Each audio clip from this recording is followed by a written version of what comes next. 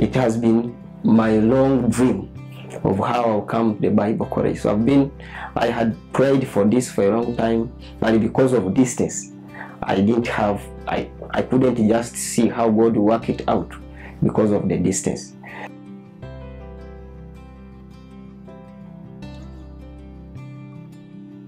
Uh, It's like I wanted to be developed in the Bible teachings, in the ways of interpreting the Bible. So many times I've been training myself, but it was not enough. I could pray, I could read the Bible, and I, I could read different spiritual books, but still, I felt I need to learn something because he realized that I have some calling, and this calling should be trained and have some uh, Christian disciplines, biblical teachings. I just wanted any way, any possible way, how I can develop in the teachings of God.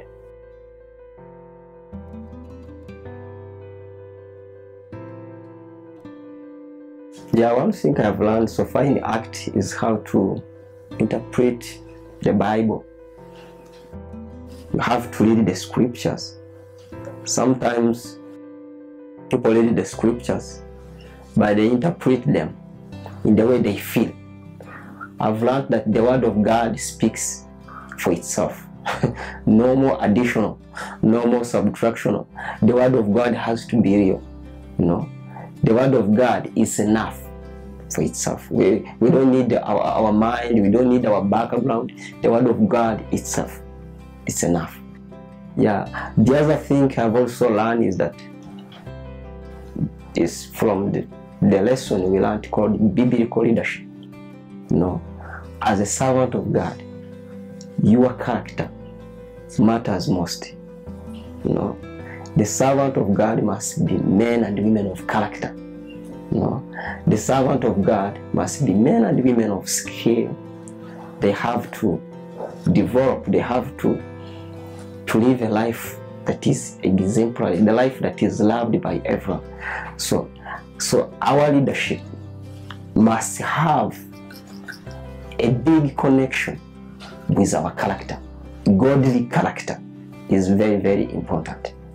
You know, ACT is training redemptive servant leaders.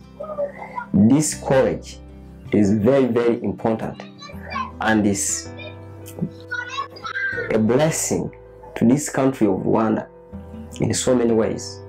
This country, all the servants of God, in fact, so many of them were not trained. They are just servants of God just by calling. They were not nurtured. So I look forward that this school of ACT will transform these leaders to be better servant leaders of God. So this college, I see it as a blessing in this region, not only in Rwanda, but even in this eastern region, because we are being taught by professional teachers from US, from Uganda, Kenya. So we are looking forward to be better servants of God. I would appreciate you so much for what you are doing. We love it. And God will bless you because you blessed so many. We are ready to serve God through your sweat, through your provisions, and God will bless you as a result. Thank you so much.